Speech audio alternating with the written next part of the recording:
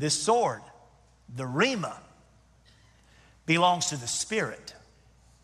Doesn't belong to us. It's the Spirit's sword. Here's what that means for, for us, Christians, as we try to use the Rhema to knock away Satan's blows. Here's what it means wielding the sword means, requires yielding to the Spirit. If you're a believer, the Holy Spirit of God indwells your life. But, Christian, listen.